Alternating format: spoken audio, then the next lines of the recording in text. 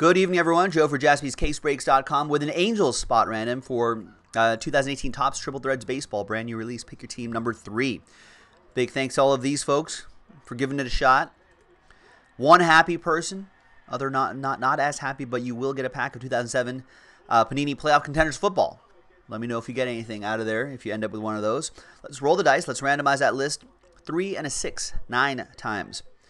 One, two three, four, five, six, seven, eight, and good luck, everyone. Ninth and final time. Name on top Joey. There you go, Joey. Joey down to David No.